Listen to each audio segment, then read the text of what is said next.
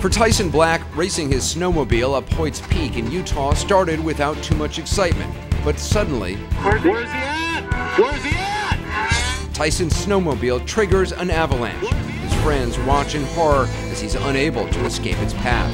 Where's he at? Where's he at? In seconds, he's engulfed in the wave of snow and disappears. With no trace of Tyson, his friends spring into action and begin a frantic search.